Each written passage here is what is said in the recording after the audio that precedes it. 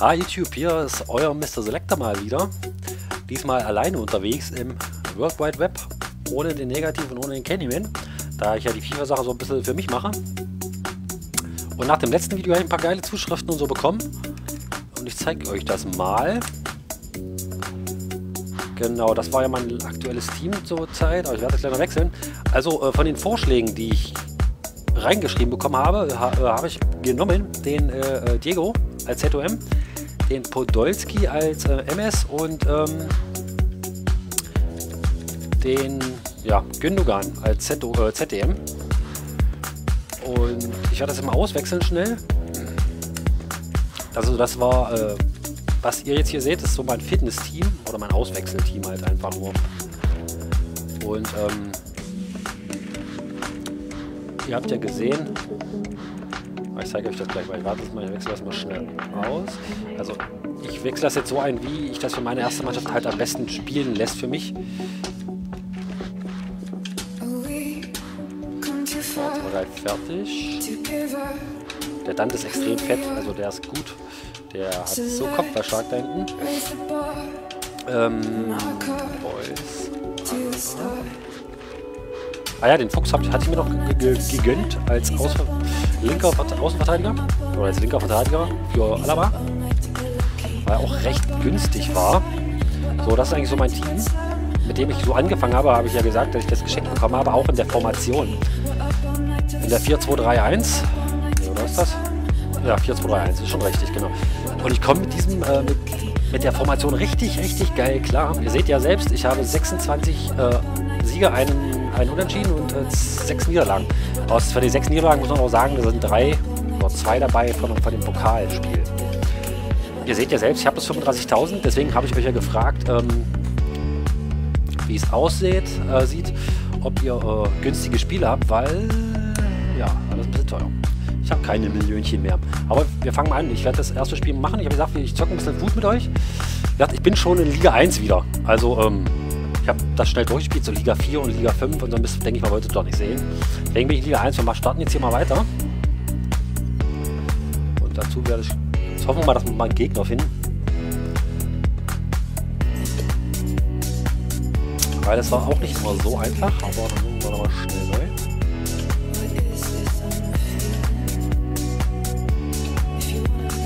Oh. Oh.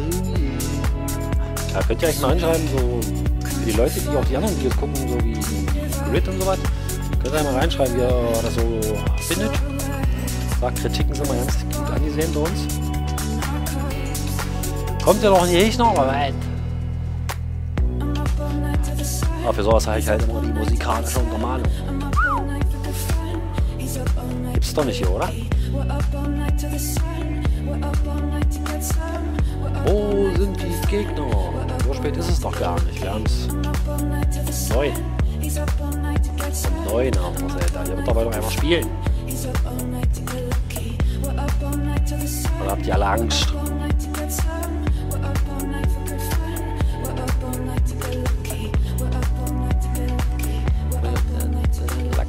Vielleicht kennen das einige. Das ist vom Daft Punk. Nur der Remix davon. So, da haben wir einen Gegner gefunden. Natürlich im Signal Luna Park. Ich bin ja schon 22 Jahre Dortmund-Fan. Das sieht nach Schied aus, wa?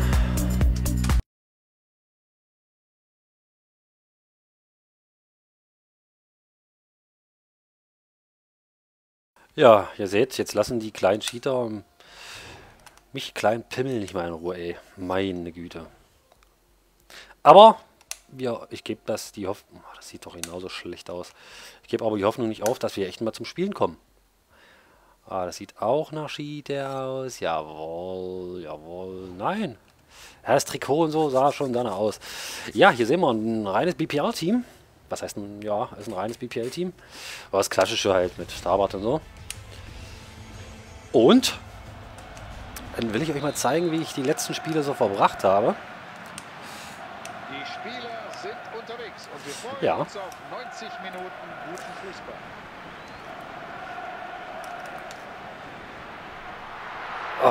So, ihr müsst ja, ihr müsst so ein, zwei Sachen kann ich euch mal erzählen, so auf dem, auf dem Weg so zur Liga 1.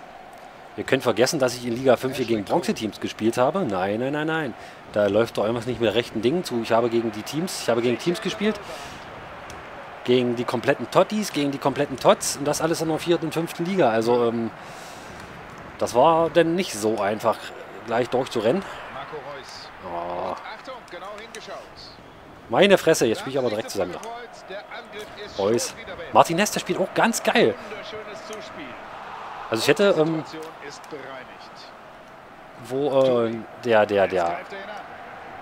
Candyman mir, ähm, oh Mann, was mache ich denn? Wo der Candyman mir die ähm, Spieler geschenkt hat in dem System, hätte ich gedacht, naja, scheiße so. Aber manche Spieler, die ich mir so nie gekauft hätte, die sind echt gut. Schnell ausgeführt. Wie zum Beispiel Timoschuk ist echt gut. Den, den Martinez hätte ich mir nie geholt. Genauso wie den Groß. Das Spiel ohne Ball klappt. So sieht ein Pass aus. Ah, der steht auch richtig eng hinten drin. Naja, der Diouf finde ich auch ganz geil. Ganz geil geworden, der Stürmer. Also, der trifft zwar manchmal das leere Tor nicht, aber er ist schön. Ja, und da steht schon 1-0. Das ist doch schier. Ramirez gut geschossen, kann man nicht sagen. kann es aus dieser Distanz. Was für eine Du brauchst es dir aber nicht angucken, du Lutscher, Alter. So, jetzt muss ich mich mal ein bisschen aufs Spielen konzentrieren hier, Jungs.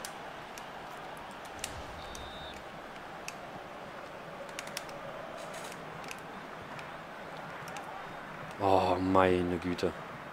Jetzt wieder der blanke Vorführeffekt. Ich habe halt Lappenfieber, Jungs. Oh, was ist denn? Der ist... Der Abwehrspieler ist genau zur Stelle bei dieser Flanke. Ey, wo er hinpasst, da spiele ich ja nicht hin. Walcott.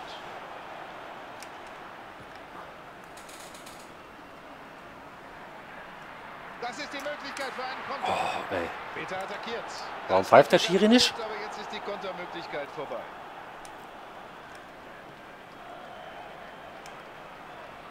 Er ist aber auch wieder so ein, so ein typischer... Ähm, Ja, da sind wir uns, glaube ich, einig. So kannst du einen Stürmer nicht stoppen. Typischer Typ, immer nur schnell auf Pace-Spieler. Ja, ich krieg gerade nichts hin. Das ist scheiße. Ich will ja nicht tricksen, weil ich ja nicht tricksen kann.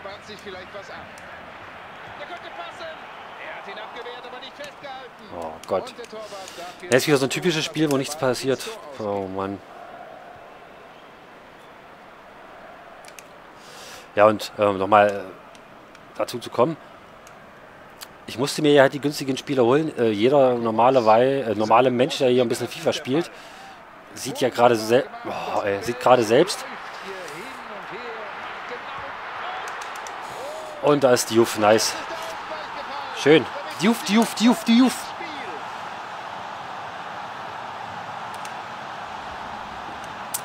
Ja, was ich sagen wollte, der seht ja gerade, man kann sich ja keinen normalen Spieler mehr leisten. Das geht ja schon bei den Fitnesskarten los, bei Verträgen los und geschweige denn bei den ganz normalen Spielen, äh, Spielern. Und äh, daher mit 35.000 kann ich äh, da nicht viel anfangen. Und ähm, ich bin ja wieder seit etwas kürzerem wieder im Forum aktiv, zwar unter Mr. Selector, also nicht mehr Selector 82. Und ähm, was die Leute da mit ihren Millionchen da rumschmeißen, ist ja auch normal. 15 Millionen und 10 Millionen und ey, Leute, nee, das ist. Und der kommt genau?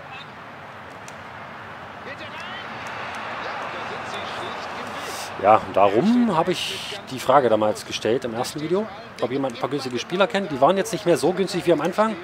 Ich glaube, der Gündogan, für den muss ich 14.000 zahlen. Für den, den hätte man damals geschenkt bekommen. Oh Mann. Das sind zwar 3 Euro ins Phrasenschwein, aber man sieht hier, Fußball ist ein Mannschaftsspiel. So, jetzt Lahm. Reus, der, irgendwie komme ich mit dem Reus gerade überhaupt nicht ins Spiel. Komm. Er versucht den Ball abzugleichen. Langsam kann er sich den Ball zurechtlegen. Guter Angriff, aber nur im Ansatz. Der Gegner ist bereits wieder da. Weil diese No-Skill-Tricks, Alter, diese brotlose Kunst immer von den Kiddies hier. Marco Reus. Da können sie jetzt einen Konter draus machen. Setzt sich schön durch. Ja, nicht nur auf der Linie rumhampeln, Dr- ey, das sondern mit- auch mal rauslaufen. Also sich den Ball holen. Ja, das ist der moderne Fußball. Das ist genau das, was der Trainer vom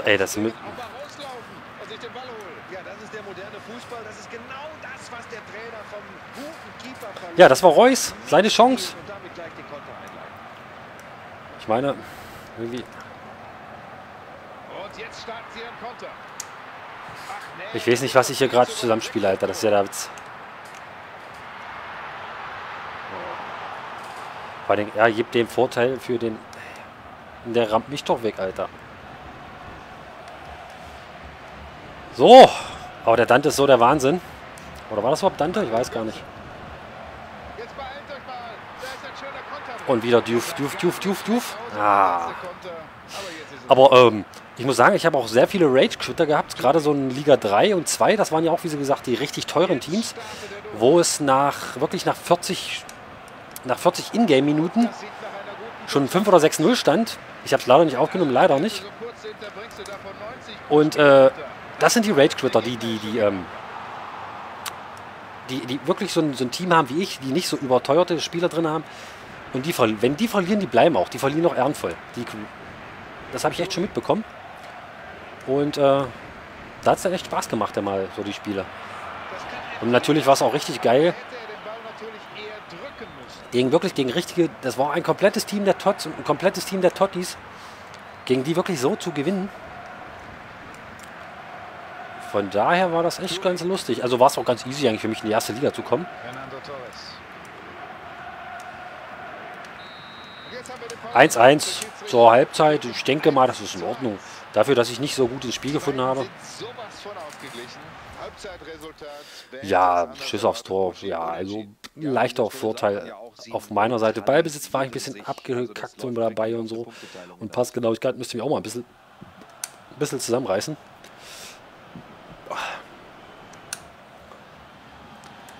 Wen wechselt er denn jetzt aus? Welbeck für Torres. Also da will. Obwohl Welbeck ist jetzt nicht so pace-lastig, glaube ich, oder? Ich weiß nicht, werden wir ja im Laufe des Spiels sehen. Der Götze gefällt mir auch ganz gut auf der ZOM. Wie gesagt, ist zwar auch nicht mit 84 der ganz, ganz schnelle. Normalerweise, wenn man so die Position sieht, also gerade vorne spielen ja viele auch mit LF und RF. Da hast du halt natürlich die klaren Vorteile, was Pace angeht, äh, mit, mit, mit Walcott oder, oder, oder mit Neymar, der jetzt für viele spanische Teams interessant wird. Ich glaube, deswegen ist der Preis auch so weit oben. Da den man jetzt ins spanische Team mit einbauen kann. Oh, was mache ich denn hier gerade? Ich rede schon wieder zu viel. Ich muss mich konzentrieren. Ja, komm. Ja, Jungs, ähm, Ist noch nicht vorbei. Könnt ihr mir eigentlich mal sagen, torwartmäßig, wie ist denn der Adler? Kann mir das wer sagen? Ich war mit dem Wiese jetzt nicht ganz so zufrieden. Ey, was? Ich wette mit dir, der schießt in der Mitte.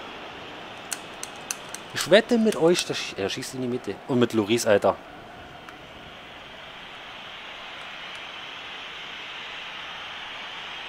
Ich werde mich auch nicht bewegen. Komm, komm, komm. Siehst du? Mitte war geschossen und vorbei. Ich habe da nämlich mal was festgestellt bei den ganzen Leuten. Sobald du dein Torwart hin und her bewegst, schießen die nicht in der Mitte. Bleibst du in der Mitte stehen, in der Mitte stehen, schießen sie in der Mitte. So, jetzt müssen wir aber noch ein bisschen Gas geben hier, komm. Oh Mann, ich komme gerade überhaupt nicht ins Spiel. Mein Lieber, guck mal hin. Er hält doch tatsächlich diesen Ball. Ja, und äh, wir müssen da ein bisschen mit Spott reagieren, denn bisher ging ja gar nichts zusammen. Also der Mann hält seine Truppe hier definitiv im Spiel. Das ist Ja, ja, zu Wiese nochmal zurückzukommen. Ich war nicht ganz so zufrieden mit ihm. Vielleicht kann mir jemand sagen, äh, der Adler hat ja, ich glaube, eine Gesamtstärke von 84, also der normale. Ich rede ja immer von dem nicht in Form. Und ähm, der kostet, glaube ich, auch schon wieder 15.000 oder so. Vielleicht kann mir jemand mal sagen, wie der ist. Auch vielleicht hat jemand ein paar Millionchen und hat den Spieler zufällig und braucht nicht. Wäre auch geil. Oh, der Diouf, das ist Diouf. Der schießt zwar Tore, ist schnell, aber mit seiner 77 ist also die, die Ballannahme und alles und das Passen nicht so gut.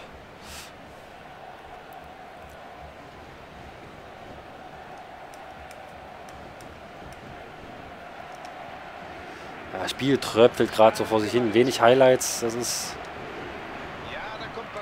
auf uns zu. Oh, allem. Oh, dass man das nochmal nicht. Weil das ist schon so ein Problem seit 1994. Ball im Aus, Einwurf. Oh, den ja, wie Fehler von Müller.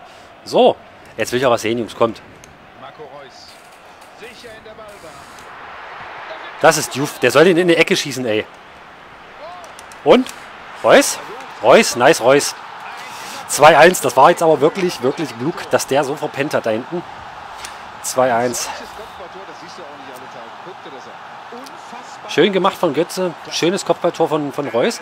Was man auch den, den, den, den Diouf noch vor, äh, kann, die Füße des Stürmers. der ist echt kopfballstark. Hätte ich gar nicht gedacht, dass der so kopfballstark ist. Oh, jetzt darf ich nicht. Ich darf jetzt nicht Penny hinten. Oh Mann. Ein wunderschönes Zuspiel. Walcott. Ja, ist wieder so diese. Ja, ja. So sieht ein Pass aus. Walker, Walker, ich weiß nicht. Bei vielen habe ich jetzt auch den Fehler gesehen, dass sie mit ihren Außenverteidiger, also mit R und L, rechten und linken Verteidiger, dass die immer bis zur Grundlinie rennen und dann alles frei ist. Was ich jetzt natürlich hier nicht so ausnutzen kann, aber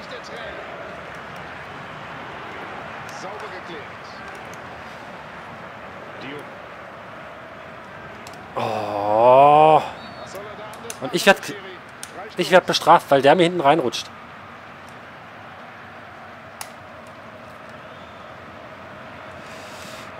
Oh Mann. So, Alaba, komm, jetzt zeig mal, was du kannst. Da ist der Fett, der Bengel, Mann. Wollen wir mal versuchen auszukontern? Er läuft lang. Ja, da ist der Vermal natürlich. Ah, Mann, ey, das war wieder so dumm gespielt von mir. Ist Gerade so einfallslos, das nervt mich. Ja, war ja nicht so pralle. Aber das 2-1 will ich schon gerne mitnehmen jetzt.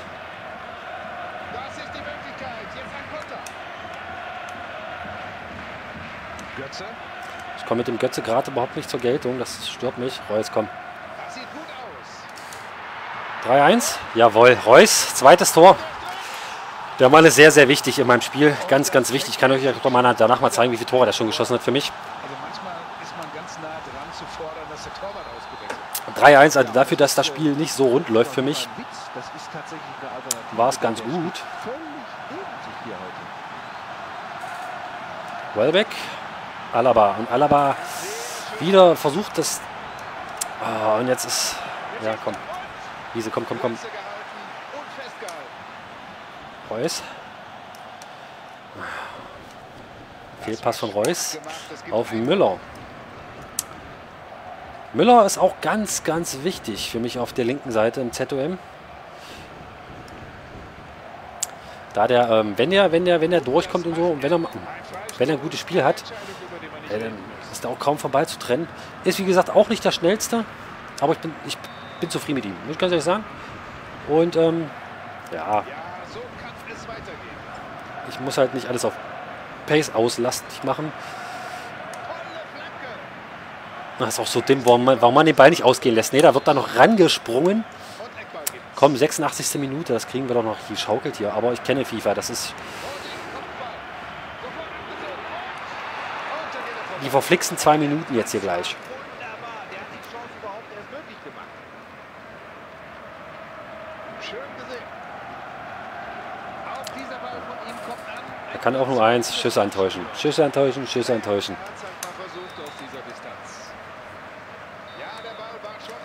Jetzt spielt er mit Luis da vorne.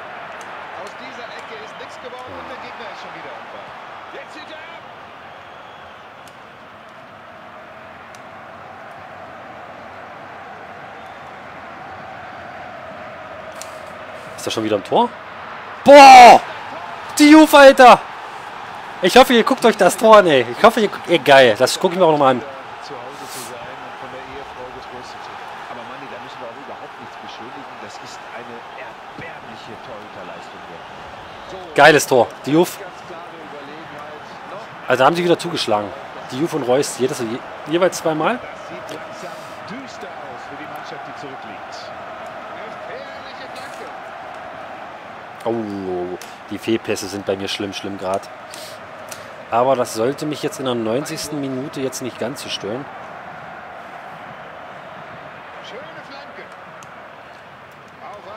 Und er kriegt nochmal die Ecke. Okay. Lahm jetzt nicht der größte Kopfballgott, aber er konnte zumindest den direkten Kopfball verhindern. Oh, da hat Wiese jetzt nochmal göttlich gehalten. Ich weiß gar nicht, was der immer mit seinem Loris hat. Also, und da ist wieder Dante. sofort wieder der Gegner am Ball. Jetzt wird er aber abpfeifen. Schießen wir das Ding auch weg. Und ihr habt gesehen, trotz echt schlechten Spiel von mir habe ich noch 4-1 gewonnen. Und ich hoffe, ihr habt das, 90, äh, das Tor in der 90. Minute gesehen. Das war ja mal göttlich. Wo der Torhüter natürlich nicht ganz auf der Linie stand. Aber ihr habt gesehen, 9,4, 8,8. Geiles Ding da vorne. Super, super. 437 München insgesamt. Damit wären wir doch dann schon glatt bei Oh, Jungs, ihr seht, ich habe noch zwei Spiele offen und ich brauche bloß noch einen Sieg für den, für den Titel in der ersten Liga. Aber ich zeige euch nochmal schnell. Jetzt bin ich bei 36.300 und ähm, ich zeige euch jetzt noch schnell, wie ich es gesagt habe. Wie war denn das Verein? Spielerstatistiken. Da hat natürlich der Diouf natürlich ganz geil gespielt. Mit 26 gespielt und äh, ja, genau, weil ich den einmal ausgewechselt hatte. Und 29 Tore. Und der MS, gucken wir gleich mal, Podolski, ja, um, Reus. Wieso ist vier? Ja, keine Ahnung. Wenn wir 26 gespielt und 35 Tore, der Bengel. Also ganz, ganz geil. Die zwei Typen da vorne.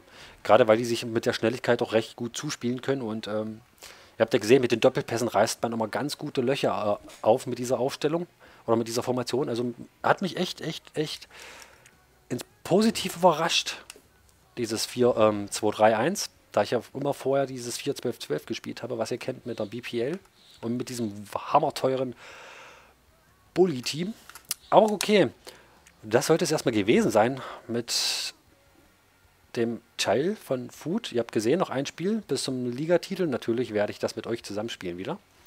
Und ich hoffe, es hat euch gefallen.